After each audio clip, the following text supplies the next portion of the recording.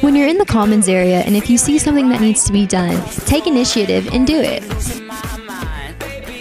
We want to keep Apollo clean. It's our home. So if you see any trash on the ground, pick it up and clean up after yourselves and your peers.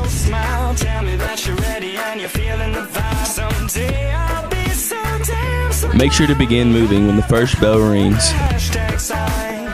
Be where you're supposed to be when you're supposed to be there. Walking through the commons area, you want to make sure to respect other spaces.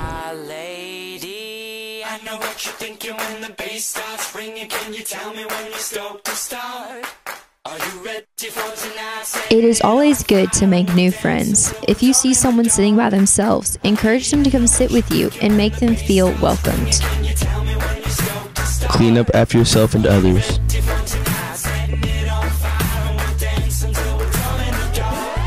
If you're told something, make sure to listen and respond politely to the directions you're given.